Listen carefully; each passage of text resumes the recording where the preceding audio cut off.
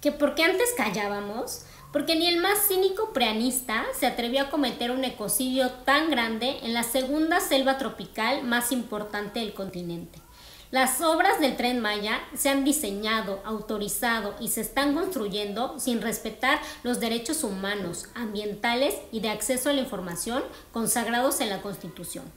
También han negado el derecho a participar cuando hicieron la evaluación de impacto ambiental, como lo establece la Ley General de Equilibrio Ecológico y Protección al Ambiente.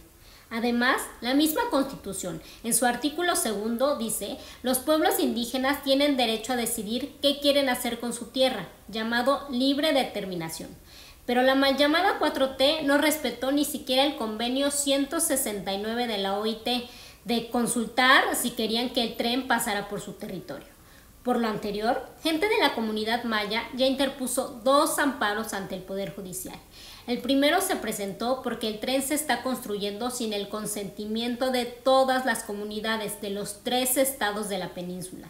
El segundo amparo es por todos los impactos ambientales que se pueden causar, pues el paso del tren va a ser una barrera que va a partir la selva, cambiará la zona en la que viven y se mueven animales como el jaguar, el tapir, iguanas, monos, armadillos, entre muchos otros.